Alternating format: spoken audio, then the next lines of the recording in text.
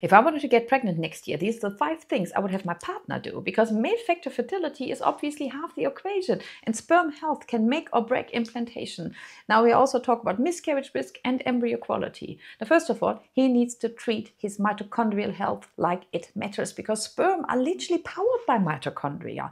Now, mitochondria are the little engines in the cells that includes sperm cells. And if sperm can't swim, can't penetrate the egg or carry high DNA fragments, fragmentation. That's a mitochondrial problem and not just a count problem. Second, he has to get serious about inflammation. Most men walk around with silent inflammation from alcohol, processed food, poor sleep, and stress.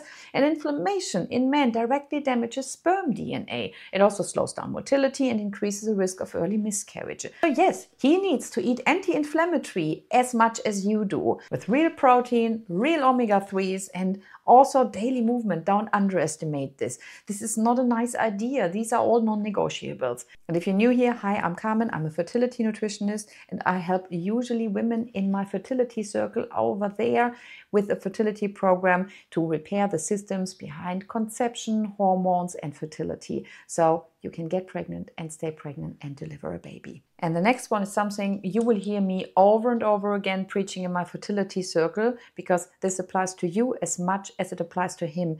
Fixing blood sugar is again non-negotiable.